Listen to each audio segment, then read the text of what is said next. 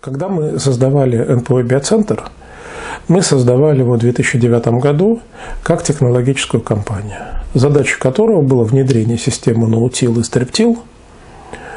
И мы рассчитывали, что на рынке есть интерес, э, мы будем сопровождать определенные хозяйства, внедрять эту модель, нам будут платить, и мы будем зарабатывать. До этого я несколько лет занимался наутил, том числе я преподавал э, в школе полевого опыта, которая собиралась, проводилась на территории Агросоюз э, на Украине, под Днепропетровском. И моя тема – это было восстановление плодородия почвы при переходе на наутил. Это моя тема, я читал ее два года. И нам казалось, что мы разобрались. Вот эта книжка 2008 года, книжка реферативного плана, основные этапы перехода на ноутил. То есть это маленький учебник. Конечно, он для меня сейчас кажется наивным, простым, его нужно будет переписывать. Ну, как только будет интерес, то есть, ну, посижу я там недельку, я из него сделаю такой приличный учебник. На самом деле это большая реферативная работа, мы изучали опыт – Южной Америки мы изучали вопрос болезней растений при переходе на наутил, уплотнение почвы. Вот здесь вот отражено, мы эту книжку раздаем, она есть на всех выставках, где мы принимаем участие, и в год мы раздаем иногда там до тысячи, до полутора тысяч экземпляров. Э, вот эта книжка вторая э, «На пути к сухому земледелию. Австралийский опыт в России». Это расширенная статья, написанная австралийцем Яном Кином, который э, профессионал по австралийскому наутил, который работал э, по линии ООН в Южном Судане, работал в Казахстане, и его э, на Южном Урале специально руководители хозяйств собирали деньги, приглашали как эксперта. Я с ним поездил по восточной и по западной Башкирии. Это профи, это специалист по наутил для тяжелых условий. Он специалист по сеялкам, он специалист по технологии. В этой книжке есть эти основы, э, которые он там дает. То есть опять мы ее раздаем везде, то есть где мы стоим на выставке, пожалуйста, подходите, я вам ее просто отдам. Что такое наутил? В начале этой книжки я даю определение. То есть наутил – это общее направление, связанное с тем, что можно, оказалось возможным, примерно лет 60 тому назад, возможным э, выращивание сельскохозяйственных культур без обработки почвы. Наутил Наутилич без обработки переводится. Есть несколько вариантов этого э, понимания – есть система э, прямого посева. Она будет звучать в переводе с английского и с испанского. Система прямого посева. И еще такая вот система мульчированного посева. То есть, когда поверхность почвы, она покрыта растительными остатками предыдущей культуры или сорняков, убитых сорняков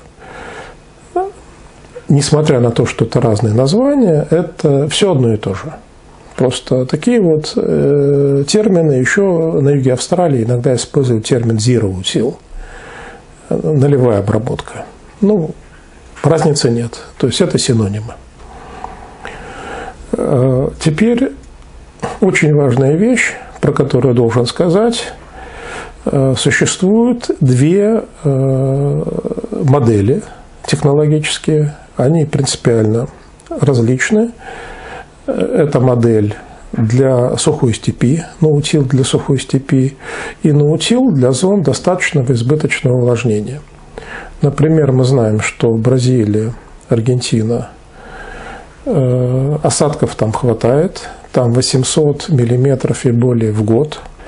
Есть много регионов Соединенных Штатов у фермеров, которые практикуют наутил, они тоже используют вот эту же модель. Э, и у них проблема водной эрозии – это проблема номер один. И поэтому они будут стремиться к постоянному ровному покрытию растительными остатками. И есть э, другой наутил, мы его называем австралийский наутил или австралийско-канадский наутил, потому что канадцы в процессе развития своего наутила пошли по пути австралийского опыта. И австралийский наутил, австралийско-канадский наутил – это 300 и менее осадков в год. Конечно, есть зоны и 400 мм, 450 Я был э, два сезона главным технологом э, в Харьковской области в холдинге. У меня было 7 типов сеялок том числе совершенно разные наутильные. Вот эти вот сеялки австралийско-канадского типа, они мне давали от 6 до 9 центнеров плюс всегда. Их можно использовать и при минимальной обработке земли. Ну, то есть вот я просто обращаю внимание, что есть две модели производственные. Австралийская модель, вот если показывать карту, она сформи... сформ... сформировалась, зона, граница э, внутри... внутренней австралийской пустыни степей на юге Австралии, там, где выпадает снег. И она нам должна быть максимально интересна. Но, к сожалению, у нас э, на юг России, я имею в виду Ставропольский край, Краснодар, э, Краснодарский край, Ростовская область, у нас эту систему никто не заводил. У нас э, зашла сюда, зашли сюда две модели. Одна аргентинская, где влаги достаточное количество. Мы знаем, что в Ростовской области 8 климатических зон. Для, для каких-то зон она пойдет, для каких-то зон она не пойдет. Вот. Э, сухостепной модели не заходила вообще. У нас мы живем в огромной стране. Э, у нас не знают в одном конце, что есть в другом конце. Потому что по прямой от Ростовской области до юга Башкирии, до Челябинской области, я думаю, там несколько тысяч километров, ну где-то больше трех-трех с половиной тысяч километров. Кто двигал эту модель в том регионе? В том регионе эту модель двигал очень интересный человек по фамилии Двуреченский. Он был министром сельского хозяйства Республики Казахстан. И когда возраст пришел, он ушел э, на директорство Кустанайского НИИ сельского хозяйства. Вот он э, ввел австралийский научил в оборот. Он запатентовал так называемый сошник Двуреченского – и по его, с его подачи стали создавать, переделывать обе ямички, э, ставя на них сошник Двуреченского. Кроме того, такая знаменитая барана Двуреченского, которую также стали производить, если интересно, я там потом немножко этих материалов дам. Но э, при жизни он успел сделать внедрение 500 тысяч гектаров земель, работающих по этой модели. Поскольку, Башкирия оказалась достаточно восприимчивая, вообще психология башкиров, она особенная, у них очень хорошо развито технологическое мышление, они смогли освоить эту модель. На сегодняшний день у них 300 тысяч гектаров по модели Двуреченского, 300 тысяч, это 12% территории э, Башкирии. И там есть человек, которого зовут Халил Сафин. Э, он очень внимательный, он э, академик Республики, Академии Республики Башкортостан, руководитель отдела земледелия, он дает достоверную информацию. То есть он не привязан, он не аффилирован к продаже определенных сеялок там, или определенных каких-то вещей. И в то же время они там создали несколько групп. За деньги можно заказывать, они будут сопровождать. У нас для конкретики очень мало достоверной информации, потому что мы как-то застряли вот на уровне первого класса начальной школы, где у нас говорят, вот научил это хорошо – но, видите, вот мы э, уже сейчас выяснили, что наутил наутил рознь. Есть наутил для сухой степи, есть наутил для зон достаточного увлажнения. Ну вот какие, например, э, различия могут быть? Например, движение по полю при посеве. Аргентинская модель, где достаточно влаги, у прижилась модель, когда они двигаются, делают посевную под углом. Там 45 градусов, 25 градусов. Ну, то есть, э, можно в этот вот так посеять, другой вот так посеять, и все нормально получится. Зона, где нехватка влаги, там должно вообще исключено движение техники по полю, кроме технологической колеи. То есть, если там, где достаточно влаги, там почва успевает разрыхляться. Где влаги недостаточно, технологическая колея обязательно. Но опять этого нигде нету, вы ничего об этом не будете знать. Единственный момент, который у меня вот фермер, у которых немного гектаров на юге Урала, в Челябинской области, они используют легкие трактора. То есть, где нет возможности технологическую колею держать. На тяжелых тракторах обязательно технологическая колея. Потом, какие принципиальные различия есть в модели? Ну и какие вопросы возникают при покупке сеялки?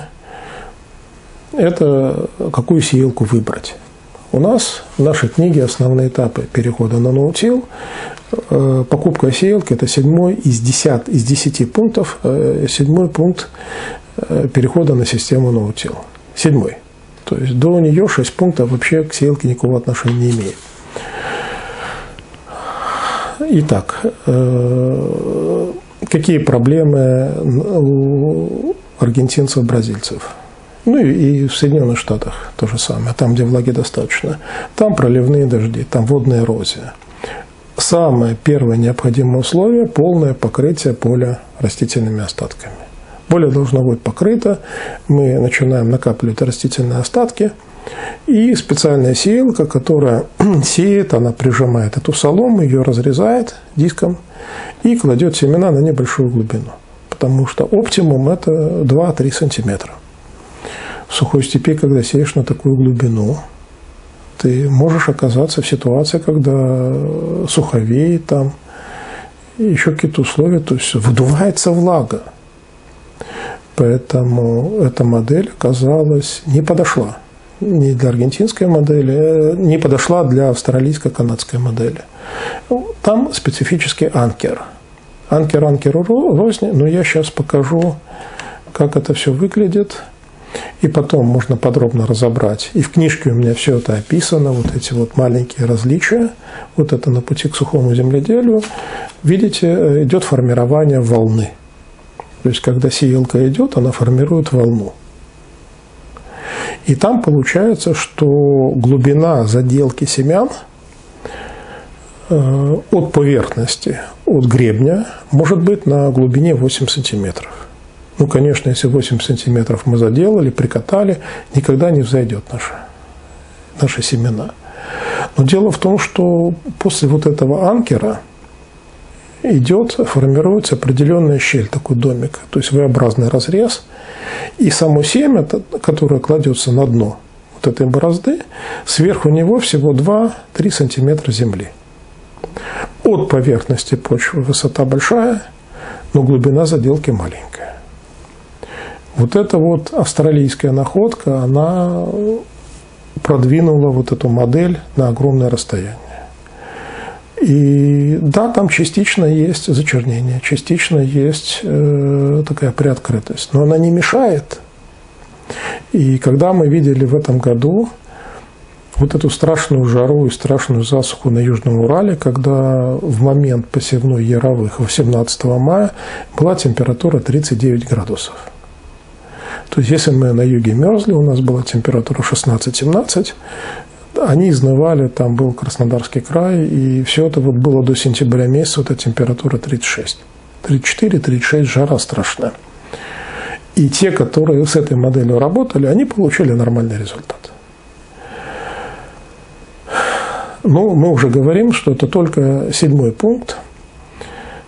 Выбор сеялки, выбор этой технологической модели – есть сеялки анкерные, есть сеялки дисково-анкерные. То есть, э, и вот эта диско-анкерная сеялка, сеялка Рогро, которую завезли в Россию, которая сейчас выпускается в Челябинске под названием сеялка Муза.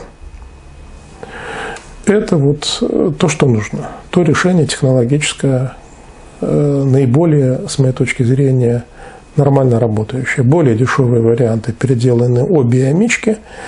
И в Барнауле э, одна организация, по-моему, Интекс называется, они стали делать и продавать блоки посевные. Можно делать любую раму и на них ставить эти блоки. Там как раз они работают по принципу анкер с узким прикатывающим колесом формирующим. Почему-то считается, нет необходимости объяснять, но я работал э, с Украиной, работал с бывшей сельхозакадемией Киевской, сейчас называется Институт природных ресурсов и природопользования, отдел кафедры земледелия. Там есть такой Николай Косолап, он научный редактор журнала «Зерно». И когда я его пытался э, больше 10 лет назад попросить, объясни, пожалуйста, вот какие основные сходства и различия для разных климатических условий, он объяснял примерно так, что чем больше влаги, тем междурядия меньше. Потому что много влаги, много сорняка растет, и нам нужна борьба с конкуренцией сорняком. И э, поэтому очень много немецких сеялок наутил, эти амазоновские сеялки и так далее, комплексы. Там 19,5 сантиметров, 16,5 сантиметров междурядия, маленькие. Для сухой степи, чем меньше влаги, расстояние между рядами больше. Существует вот э, австралийская модель – они сеют и 40 сантиметров, это нормально. То есть растения более экономно используют влагу, и норму высева э, делают очень низкую. То есть э, вот здесь идет подсчет 48-50 килограммов, 60 килограммов, 80 килограммов, но больше не сеют. А у нас получается, что мы переходим на наутил – с той традицией, которая у нас в голове, мы пытаемся сеять 250 килограммов семян, которые мы плохо готовим, мы создаем внутривидовую конкуренцию, и при внутривидовой конкуренции идет больший расход влаги. То есть, если мы работаем по похоте, по обычной модели, которая у нас в крови, в плоти, потому что мы имеем опыт, и переходим на систему наутил, там нету каких-то второстепенных вещей. В общем, мы понимаем, что чем меньше влаги, тем шире междурядие. Чем меньше влаги, тем меньше количество семян кладется в почву. Тогда у нас должны получиться большие растения с хорошим кущением. 4, 5, 6 стеблей, вот они должны даваться. И тогда у нас будут мощные растения, которые нас э, вытащат в засуху опять, вот сеялка Хорш Агросоюз – это сеялка для 450 мм осадков. Там сошник Андерсона. Для сухой степи она не подошла. Она не дает того кущения. Для тех условий, для которых она создавалась, она подходит. То есть мы говорим, что есть дифференциация, что должна быть адаптивная система – где мы не просто переносим один к одному, ну как же вот там из Бразилии 1600 миллиметров осадков, и мы переносим на условия Ростовской области полностью модель. Она не перенесется. А какие-то элементы переносятся. И нам бы как-нибудь это собрать, я не знаю. Вот я есть. Я думаю, что материал будет размещен. Пишите в комментариях, у кого какие советы есть. Мы можем сделать школу наутил для сухой степи. Я не продаю сеялок. Это не моя сфера компетенции. Но я как эксперт могу сказать, о чем нужно думать, где можно подсмотреть, куда можно съездить и руками потрогать и пообщаться с людьми. Это может быть зима, это может быть весна, это ну, тот период, когда люди не задействованы в работу. Следующая вещь при переходе на наутил, и это должен быть именно переход. Это не с бухты-барахты. купили сеялку, и все, вчера было так, а завтра началось наутил, мы не, не должны, если мы не хотим получить катастрофу экономическую или оскомину после этого наутил, мы не должны бросаться, э, э, как бы сказать, э, сломя голову в неизвестность. Что нас должно интересовать? Я сейчас кое-что покажу. Нас должно интересовать стартовые условия. Во-первых, почва будет разрушена. У большинства людей есть вот это мощное уплотнение ниже глубины обрабатываемого горизонта, которое вызывает блокирование влаги. То есть весной она есть, она не идет в глубину 40 сантиметров, метр. И вот это вот э, массово наблюдаемое явление под названием чемоданы, которое мы видим при спашке. Почва, которая разрушена. И вот, представляете, мы говорим, что вот мы завтра начинаем заниматься наутил, и вот у нас все завтра будет очень хорошо. Первая вещь э, – это первый способ просто разориться. Вот это вот. Поэтому, когда мы разбирали вопрос, основные этапы перехода на наутил, это идет два основных момента. Выравнивание почвы – и взлом плушной подошвы. И запуск системы разуплотнения почвы. Оно э, в Соединенных Штатах, вообще во всем мире с 2000 года было введено новое понятие здоровья почвы. И переход на наутил всегда связан с пониманием восстановления здоровья почвы. Как только мы перестаем обрабатывать почву, у нас начинается спонтанное уплотнение почвы. С одной стороны, когда почва замульчирована, она разрыхляется сверху вниз. С другой стороны, вот это уплотнение начинает разрастаться снизу наверх. Это естественный процесс. В первую очередь они связаны с тем, что почва потеряла структуру, и у нас сформировалось два уровня. Первый – аэробные микробы, второй – анаэробные. Четко разделенные зоны ответственности микробов – и анаэробам для того, чтобы они имели конкурентное преимущество, им нужна плотная почва. Причем я говорю, и это вызывает большое удивление. Но я вспоминаю интересную, э, интересный семинар 2010 года. Я был в Киеве на выставке и был приглашен один из лучших специалистов Аргентины по наутилу, и он читал по наутил. Ну, как всегда, что там хотят. Что вот тут пашут, тут не пашут. Преимущество того, что не пашут. Все, ребята, давайте переходим все на наутил.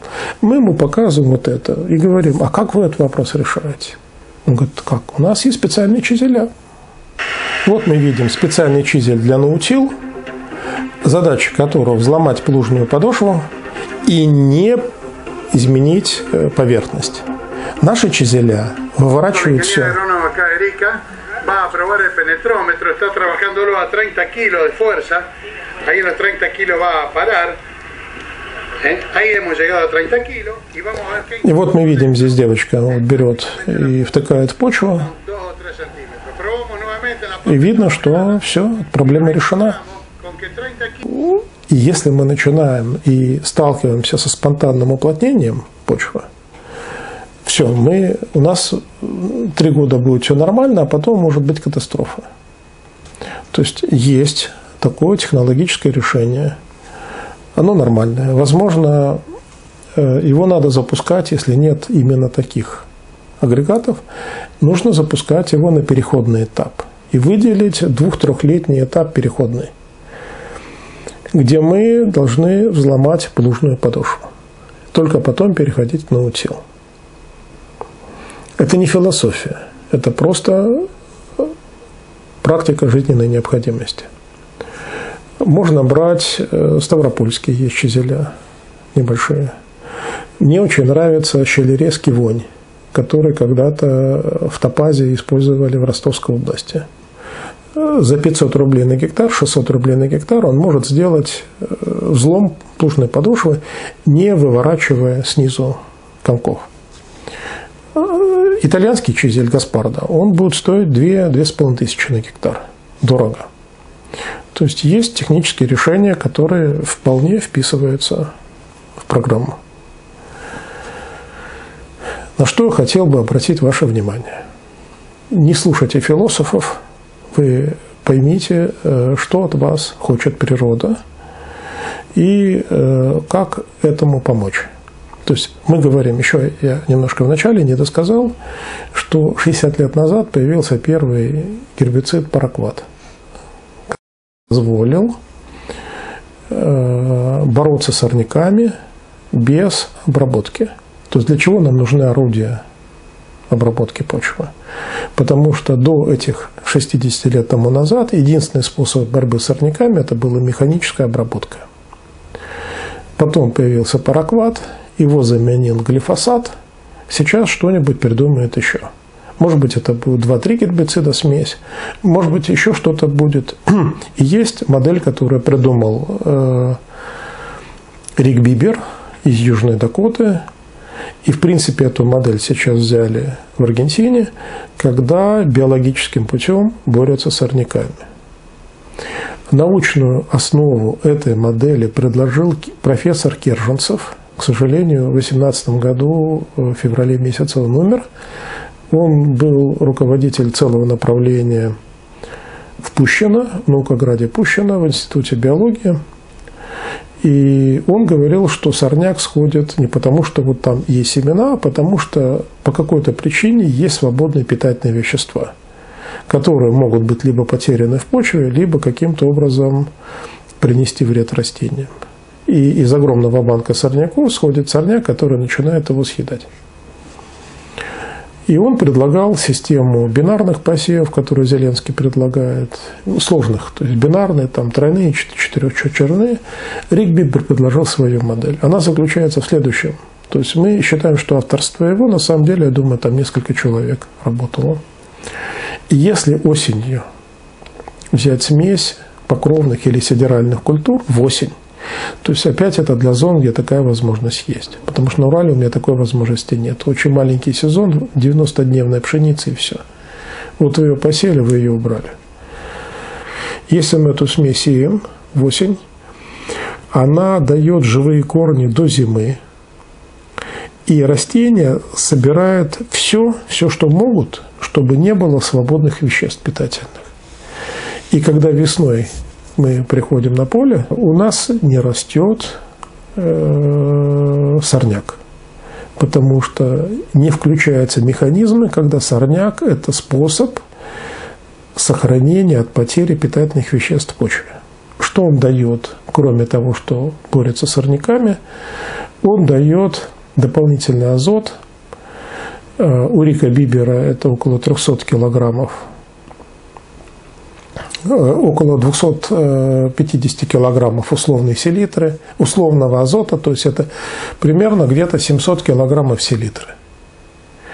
И Рик Бибер, к которому приезжали с Ростовской области несколько лет назад, есть на сайте Наутилера вот эти сюжеты сняты у него на полях. Он показывал э, по несколько тысяч гектаров поля, где наутил, где не применяются никакие гербициды, и где используют покровные культуры, которые, э, и где не применяются никакие удобрения. И есть, правда, еще одна технология э, Василия Кулагина из Саратовской области, научильщик Василий Кулагин, который э, также не использует минеральные удобрения при наутил, имеет лучший урожай, у него подсолнечник, у него кукуруза, у него животноводство. И когда у соседей 4 центнера пшеницы озимая, у него на кукурузе 60 центнеров, на подсолнечнике 20 центнеров. То есть он создал свою модель. Там есть момент не сеять до того, как почва биологически созрела. Я сейчас могу только указать направление, что есть такое решение, такое решение, такое решение, как продвигалась система в Аргентине и в Бразилии. Если мы думаем, что это вот один фермер попробовал, там другой фермер попробовал, и вот оно у них сейчас там по всему миру 180 миллионов гектаров, от 140 до 180 миллионов. И что вот, ребята, берете и вот, вот все вот, вот делаете, все было не так. В Аргентине был институт Инта, и есть институт Инта, институт агротехнологий. То есть там специалисты, они пишут книги, они вырастили целое поколение учителей, которые учат э, студентов наутил, и после окончания вуза э, агроном отправляется в хозяйство прикомандируется. Он три года там должен отработать. Дальше фермер решает, оставлять его или не оставлять. Или сам научился, ему не нужен наемный агроном. Они выставляли эту модель. Ей нужно учить. Кто-то должен все эти вещи вот решать. В Бразилии это была Эмбраса, ассоциация. И еще к ней прикрепилась еще одна ассоциация фермерская всей страны. И также они двигали эту модель. И они смогли сейчас до 80 85% эти страны перейти на ноутил. И себестоимость сельскохозяйственной продукции там ниже, а урожайность можно получать на наутил выше. Опять по переходному этапу. Я могу почитать лекции по переходному этапу. В любом случае это года два – ну, быстрее не сделаете. Вам нужно выровнять почву, потому что наутильная почва, если вы запускаете наутил, уже десятилетия туда э, ничего не делаете. А представляете, у вас остатки свально-развальных борозд остались. И вы, ваше движение техники копирует, техника бьется, повышенный расход, повышенная амортизация – вот на наутил нужно, как на многолетних травах, все выравнивать идеально. Главный признак 80-85 километров по диагонали по полю машина, джип должен лететь, и все, которые сидят в машине, не должны головой пробивать крышу. Поэтому обычно там катросы берут или другие дисковые бороны и проходят по диагонали, выравнивают все идеально. Вот это нужно будет сделать.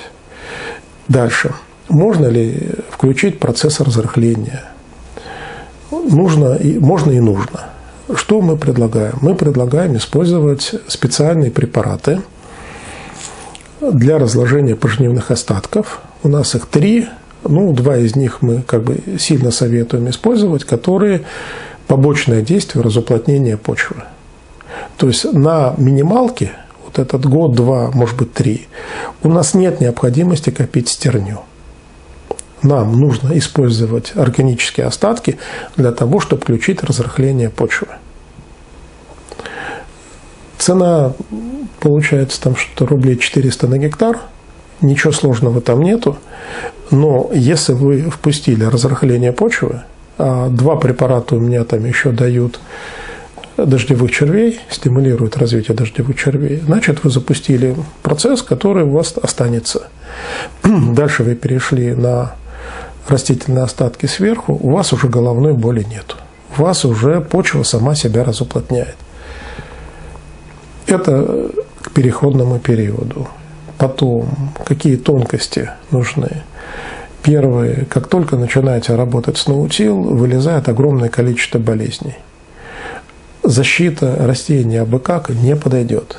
Причем защита и, и э, фунгицидная – мы работаем с Институтом фитопатологии, мы знаем, какие господствующие патогены в каждой зоне есть, и 80% фунгицидов не годятся, какой бы фирма именитая не была, там Сингента, например, там, или еще какая, нужны именно те действующие вещества, которые можно использовать.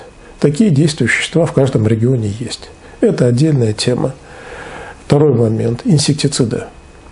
Когда я в Башкирии увидел посеянный по наутил подсолнечник, мне захотелось расплакаться. 30% растений съел проволочник. И мне удалось убедить, что если мы переходим на наутил, от проволочника обязательно пропашные культуры семена должны быть обработаны. Кукуруза, подсолнечник. Есть препараты, препаратов достаточно много, есть препараты качественные, есть препараты некачественные. Лучше работать с качественными препаратами. И у фирм э, заказывать, чтобы семена были отработаны. Есть форс ZEO у Сингенты, есть э, имидоклоприд у многих фирм, есть теме таксаму сингенты. И можно делать вариант форзе у одной фирмы два отдельных препарата брать и смешивать. Но чаще всего просто заказывается на фирму поставщика семян вот обязательная обработка. Это просто вот как отче наш вот надо делать. Потому что в любом случае будет уплотнение почвы выше, чем при обработке хотя биологическая система рыхления запускается, и для более уплотненной почвы характерно наличие э, проволочника, который любит полакомиться э, молодой корневой системой всходов. Дальше что? Э, потом вот это вот такой момент упускают. Например, для Ставропольского края в ряде регионов вылезла проблема Слизни. Слизни. Что бы я посоветовал делать здесь от этих слизней? Можно ли что-то сделать? Да, можно что-то сделать. Это система стриптил, которая хорошо вписывается в чередование системы наутил. В стриптил э, нарезается полоса, это так называемое полосовое земледелие. С осени и весной туда сеются культуры пропашные. Кукуруза, подсолнечник, соя, рапс, сахарная свекла, зерновые, зернобобовые. Когда запустится система, когда произойдет стабилизация системы, можно отказаться от этого стрептила. Но нам же нужно зарабатывать деньги каждый год. И эта система, она позволяет уйти от ряда проблем для пропашных культур, но они есть. Мы ничего не можем сделать. Это какие-то комбинированные решения. Нам не нужно э, вот это вот примитивное понимание, э, что вот наутил – это отказ от механической обработки, экономия на топливе – это новая система земледелия. Новая. Э, отказываемся от механического рыхления почвы, мы не отказываемся от рыхления почвы в принципе. Мы должны запустить биологическую систему рыхления. Непонимание сделает наш наутил неуспешным. Запускаем э, почву огромное количество инфекций. Мы начинаем работать с инфекцией. Первое – грамотная подборка химических средств защиты растений. Когда кто-то придет и скажет, а биологии берем, все работает, ничего не работает. Она заработает тогда, когда почва начнет восстанавливаться, когда начнет восстановление здоровья почвы. Я использую шкалу. Это бразильская шкала, четыре этапа внедрения наутил. Первый этап 0,5 лет, второй 5-10, потом 10-20, потом идет больше 20. То есть идет перестройка полностью э, почвенных процессов и вначале нам не хватает азота, там нужно много азота, огромное количество сорняков, с которыми надо научиться бороться, биомасса очень слабенькая, низкое количество органического вещества и вот это вот наличие, э, отсутствие структуры, наличие агрегатов. Потом у нас начинает такая переходный этап, она плотность увеличивается, пожнивные остатки уже появляются, э, потом фосфор вдруг начинает расти, вот его столько не вносишь, как он начинает расти. Почему? Потому что когда биомасса накапливается, она вытаскивает весь этот недоступный для растений фосфор. Это естественный процесс. Потом следующая фаза, там третья, это уже после 10 лет. Круговорот питательных веществ очень высокий, еще больше пожнивных остатков. И на единицу урожая у нас тратится меньше э, минеральных удобрений, которые мы вносим. Хотя я говорю, что уже есть направление в наутил, где можно постепенно отказываться от минеральных удобрений, и под это есть база такая понятийная. Вот у меня фотографии из разных презентаций с разных стран. Мы видим, как почва изменяется, растет органическое вещество. И вот интересная модель э, эволюции системы наутил, когда увеличивается урожайность кукурузы, например, с 4 тонн до 8 тонн, а удобрение на 30% меньше. То есть мы увеличиваем в два раза урожайность, а удобрение на 30% меньше, чем на 4 тонны ложили. Соя растет с 2,2 до 3,6 тонн с гектара. То есть мы должны добиться полной перестройки почвы. Это процесс для меня понятный. Для фермеров он может быть непонятный, в него очень тяжело поверить. И опять, к сожалению, все семинары, которые проводят, показывают только поверхностную часть. Вот мы тут пахали, в мире перестали пахать. Вот у нас специальная сеялка. Вот давайте разберем, какие сеялки нужны, кто что там придумал, там, то, то, другое, третье. Нас интересует, чтобы система заработала. Дело не в сеялке. Сеялка – седьмой этап. Вначале нужно разобраться и запустить систему. И при запуске системы мы уже должны получить рост урожайности, рост урожайности. Мы должны при переходе на наутил вот эти ямы не попасть, вот эти сложности не попасть. А у нас получается просто как повезет. У одного фермера более или менее климатические условия, почвенные условия такие. У него хорошо прижилая система – у нас же это не стало массовым. Это уже у нас единицы. Это могу сказать, что в Башкирии это уже 12%, это уже массовое. Хотя Бразилия, Аргентина, это там уже больше 80%. Вот там это массовое. Но они потратили 30 лет на это дело. И шли очень сознательно. А у нас идет на уровне экспериментов и общения. Попытаться все это системно изложить, положить это в учебник – вот это старая книжка. Вот, если действительно хотя бы кто-то, хотя бы пару слов скажет, нам нужен учебник, я его напишу, этот учебник. Прям специально по зонам, э, могу там прописать сеялки, надо только, чтобы эти производители сеялок меня не пришибли, потому что там конкуренция большая, им продаваться надо – а я так все распишу, вот, вот это вот так, вот это так, с фотографиями, вот все, потому что я за лето, я страну иногда по несколько раз проезжаю. И у меня с ребятами телефонная связь со многими ними присылают фотографии, я прослеживаю, сколько лет это все происходит. Ну и мы должны понимать, что основной рывок по наутилу у нас произошел в 2010 году, то есть после вот этой ситуации 2010 года. И если вы начинаете, э, лучше учиться не на своих ошибках, а фактически 12 сезонов, когда ребята отработали, они делали ошибки, грубые ошибки, исправляли грубые ошибки, тратили деньги, покупали неправильные сеялки, эти комплексы не работали в условиях засухи или плохо работали, один год они давали хороший результат, другой непонятный.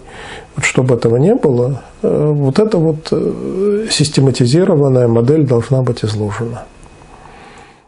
Это новое видение, новая модель, и которая должна нам э, решить много вопросов. Цены на удобрения растут, мы должны стремиться к эффективности. Цены на горючее растут, мы должны стремиться к эффективности. Без перестройки общей модели нам этого не достичь. Влаги у нас становится меньше, климатические проблемы становятся большими, нам нужна модель стабилизирующая. Нехватку влаги, избыток влаги, чтобы в почву избыток уходил, при недостатке мы имели запас влаги в почве, и обязательно переходный период переходный период, не бросайтесь, купив сеялку, сломя голову. Кто бы вам что ни говорил. Обычно так говорят продавцы сеялок. Технологи так не говорят. Я как технолог э, крупного холдинга, я бы тут же работы лишился, если бы я занимался такими авантюрными решениями. Но, тем не менее, нам удалось. Спасибо за внимание.